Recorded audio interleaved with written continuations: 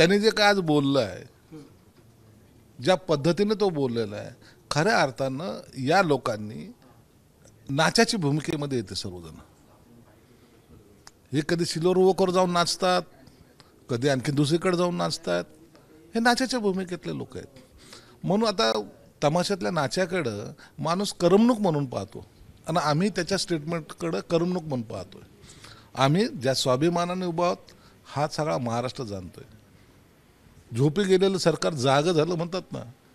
नव्हे तर आता ते पळायला लागलं हे सगळ्या लोकांना दिसतंय.